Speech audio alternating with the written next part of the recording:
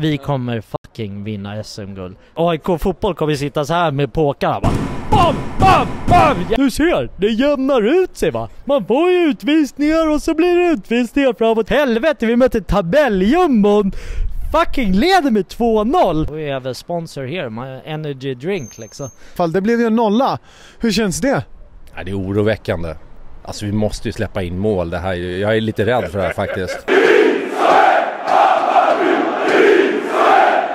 Tjena! Du som eh, tittar och inte redan prenumererar, gör så. Prenumerera på den här kanalen så hjälper oss upp mot 5000 prenumeranter. Tack så mycket. Nu står jag här med eh, Activate Micke. Och eh, vad hade du för känslor inför den här matchen när man möter en eh, tabelljumbo skulle du säga? Alltså känslan var ju eh, 5-0 på Bet365 100 spänn. Vilket eh, stämmer ganska korrekt. Det var ju känslan men samtidigt så här, man, man kliver in i varje match med Bayern så här. Antingen är det 5-0 eller så blir det 3-3 eller 1-1 eller 0-1 och sådär. Men nu, nu, nu, är, nu är känslan god alltså. Det har ju varit det under den här sommaren nu att man, man, man åker hit och så vet man att så här, fan nu kommer det smattra in bollar i näten hit och dit. Sen är det båda lagen som gör mål oftast. Men idag, idag var det fan inte det. Vi höll nollan, tror jag. Jag såg inte slutet. Ja, ja, jag var i baren då alltså. Brukar... Ja, men hur känns det då att hålla nollan liksom äntligen? Alltså nu är det ju så här, nu fick ju vi en utvisning så inte fan kan de lyckas göra mål då. Alltså då hade det varit under all kritik. Och nu kommer några jävlar sitta där och säga Du ser, det jämnar ut sig va. Man får ju utvisningar och så blir det utvisningar fram och tillbaka. Helvete, vi möter tabelljumbon. Fucking leder med 2-0. Då får vi jämna ut sig i utvisningen. Ah, snark alltså. Det här är så jävla statistikskit från domarkåren som bara ja ah, men vadå? Vi har ju dömt en utvisning emot det liksom. Det är det här. Det är det här som är det jobbiga. Satan i helvete. Hade vi mött typ Malmö eller någon annan då hade han bara oh, tveksam frispark alltså. Fan. Uppkast, uppkast. Alltså det, det kan vi också diskutera. Vad hände med det där uppkastet? I första halvlek? Efter 30 minuter. Huvudskada, alltså huvudskada. Han fick typ så här en knäpp på läppen och bara Ah jävlar fan. Och kontra är liksom tre mot noll typ och så bara Ah fan blåser av och så blir det Han får kliva av. Och, och så kliver han av och vad säger han? Kliv på igen. Och sen blåser han igång matchen.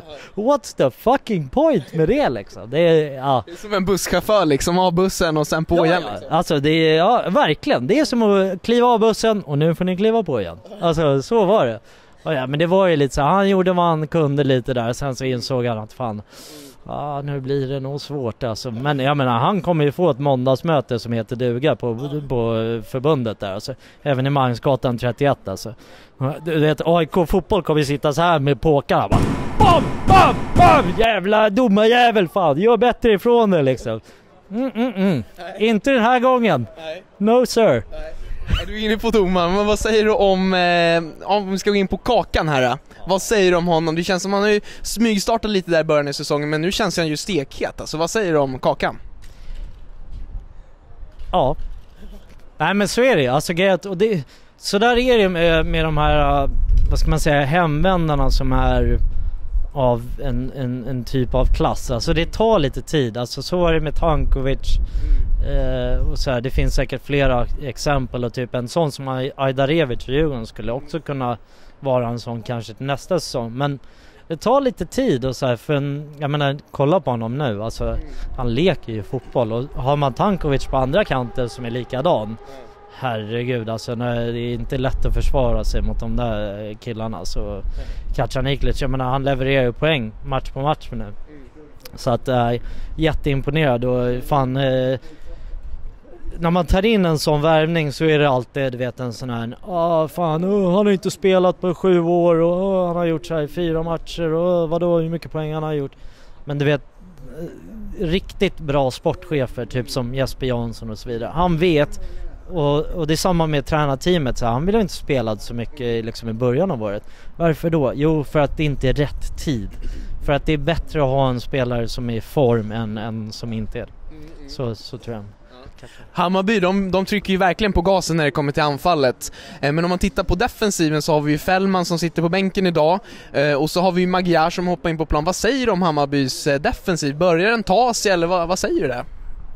Jag tror och vill hoppas att den börjar ta sig jag tror att det är mycket med Magyar. Alltså skillnaden på att komma in eh, som mittback kontra vi säger en offensiv spelare anfallare det är så här kliver du in första matchen som anfallare och gör en balja då är det hemma liksom, då är det igång. Jag menar som försvarsspelare så kommer det alltid handla om att har du, har du släppt i mål eller inte? Och när det har varit lite rotation och så vidare så tror jag att det har varit lite så här, oh, men Ja men det är lite stökigt men jag tror med med Magyar att han kan bli den där pelaren du vet som spelar varje match. Och han gör ju alltså, han gör ju bra beslut hela tiden. Han har, han har några år på nacken utomlands och så vidare så att han gör bra beslut och sånt kan ju vara avgörande liksom i ett längre skede. Det är bara att kolla på våra antagonister. Deras försvarsspel har ju varit det som har tagit oss, eller tagit dem till, ehm, ja. Liksom. Mm. Och jag måste säga det, igår så hade vi ju Jalle, vi stod på Friends och intervjuade Jalle och han sa ju det att eh, Hammarby kommer inte ta sig till en Europaplats spel i år och gör de inte det i år så har man vaskat en jädra massa cash liksom och kommer bli svårt att ta sig dit kommande år. Vad säger du om det påståendet? Är ni ute och cyklar eller kommer man ta sig till Europa League i år skulle du säga? Alltså påståendet är ju inte fel när man, om man pratar om liksom topplagen. Jag menar alla som inte går till Europa, som till, alltså det är tre lag som går till Europa. Och om vi säger att det är AIK, Malmö, Hammarby så är det fortfarande Djurgården och Norrköping som har vaskat cash. Eller du kan göra vilken konstellation som helst. Så det kommer alltid vara två förlorare eh, i det hela. Men det känns som att Bayern bygger någonting eh, lite mer långsiktigt som gör att man nu i alla fall de närmsta åren alltid slåss om de där platserna och sen liksom tar man en klubb som Malmö, de är ju garanterade den platsen. Det är, det är ju dit man vill komma liksom. Eh, så att nej, jag tror alltså vaskade cash, vad fan alltså så dyra är de inte. Alltså det är vad fan, det är Bayern liksom. De bara oh look at this fan, nice träningsanläggning va. We have a sponsor here, my energy drink liksom. Det är alltså det är på det det var va. Yes yes, 25 000 there inne va. Yes, it's very good. Alltså så är det när de värvar liksom. Det är, man snackar lite såhär money, yes yes we have good money but we will sell you very high, high price. Alltså det är, lönerna är inte så jävla höga och om de är det så fan vi är tillräckligt många på arenan för att betala de där jävla lönerna så att fan. Ja, men det är bra. Och vad säger du, sista frågan här, kommer man kunna ta SM-guld eller blir det AIK eller Djurgården som eh, kniper det? Ah, fan, eh, sluta fråga det där. Alltså helvete, ju närmare vi kommer ju mer blir man ju så Alltså, alltså ah, så här, vet du vad? Min, mitt, mitt svar på den här är så här. Hade vi legat näst sist och du hade frågat mig den där så hade jag gett samma svar som jag ger nu. Vi kommer fucking vinna SM-guld. Så är det bara. Bayern är bäst. Där har vi det! Vi tackar Activate Micke så jättemycket. Tack ska du ha! Supporterkanalen! Supporterkanalen, då står jag här med Jens och eh, Taximannen. Och idag så tar man emot ett, eh, en tabelljumbo i Sundsvall. Hur var känslan inför match? Jag var lite nervös för det är också en sån här match som förra matchen, man måste vinna den och eh, Idag spelar de riktigt, riktigt bra och eh, skönt av vilande mål också tycker jag. Och eh, i den första halvleken så gör Kacaniklic mål och Tankovic gör mål. Och det känns som att man ser det i varje match nu. Hur bra tycker du att de två är? Ja, det är ju landslagsklass på båda två tycker jag. De har ju gått från klarhet till klarhet. Vi, eh, vi njuter av deras närvaro i alla fall jag. Vad säger taximannen? Ja, och det, de är ju grymma så det, går ju, det blir tempo när de kommer. Det är som vid ena målet när de kommer farande. Det, man ser på Sundsvall, de vet ju inte vem de ska markera. De är ju fruktansvärt bra så det, det här kan bli riktigt, riktigt bra. Ja, och idag förutom mål så fick vi se någonting väldigt ovanligt i Bayernläger i alla fall. Det blev ju en nolla. Hur känns det? Ja, det är oroväckande. Alltså vi måste ju släppa in mål. Det här, jag är lite rädd för det här faktiskt. Jag vet, de har bytt spelstil och det är mitt i säsongen och det, det är inte bra. Så, nej, det är, nog, det är en engångsföreteelse. Det kommer inte hända igen, det lovar jag. Och nu är det ett Bayern i väldigt fin form. Sex segrar på de sju senaste matcherna, om än mot lite sämre motstånd. Vad, hur långt ska det bära för Bayern i år? Det är, ja, Vad hoppas du på då? Nej, givetvis hoppas man att vi vinner. Det, det är ju det man ju hoppas på. Men det är, avgörs nu mot eh, Malmö och AIK Djurgården här när vi kommer att spela. Då kommer det avgöras. Så att, eh, nej, det är tufft. Vad tror Jens? Ja, Jag har hela scenariot klart. Sista omgången så går vi förbi Malmö och blir trea och de blir fyra. Och vilka vinner då SM-guld? Falkenberg. Bra, man får inte säga de andra lagen. Stalltips. Stalltips. Och eh, i Hammarby så har man ju pratat om den här fina fartfyllda offensiven. Jag vet inte om ni har sett klippen på kanalen. Men vi har haft en del bajare som har sagt att det viktigaste är faktiskt inte att vinna matchen utan det är att behålla sin identitet och vara Bayern och spela offensivt. Var står ni i den frågan? Ska det vara ett offensivt fartfyllt Bayern eller ska man vara defensiv och tråka till sig segrar? Nej, vi ska ju spela offensivt och vinna. Det är det som är modellen med Bayern tycker jag. Det är, och vi visar ju det mer och mer att vi klarar av att föra mycket matcher. Och, så är det lite grann några värvningar till som kanske kommer nästa år och sen är vi där. Ja, och vad säger du? Jag, jag säger som Berlusconi sa en gång i tiden när han drev Milan. Han sa jag skiter i hur många mål vi släpper in. Bara vi gör ett mer än motståndarlaget. Det räcker. Ja, bra. Och, eh, sen man har ju pratat om nyförvärv och i den här perioden när det är ett sommarfönster öppet så pratar man ju om nyförvärv. Men nu när Kacaniklic spelar så bra, känns han lite som ett nyförvärv eller hur är det med Kakan?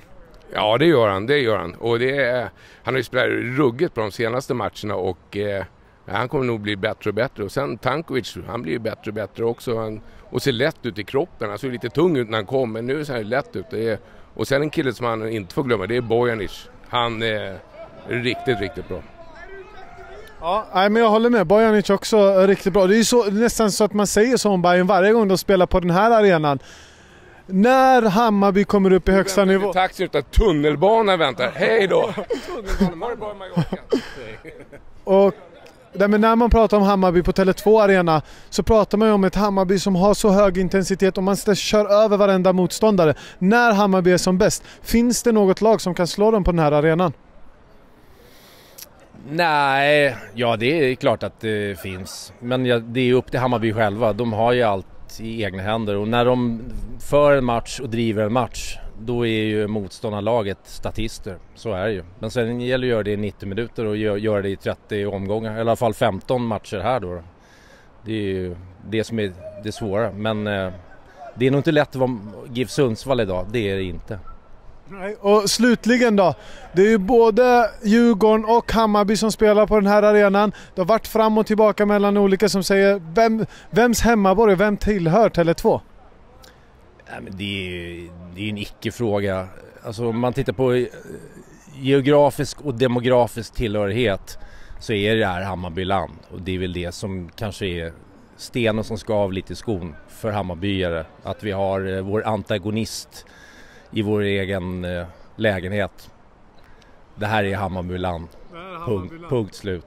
Bra, med de orden så avslutar vi och tackar så mycket för att du var med. Tack så jättemycket för att du har tittat på den här videon och innan du tittar vidare på nästa klipp, glöm inte att prenumerera på den här kanalen och följ oss på Instagram. Tack så jättemycket och vi ses i kommande avsnitt.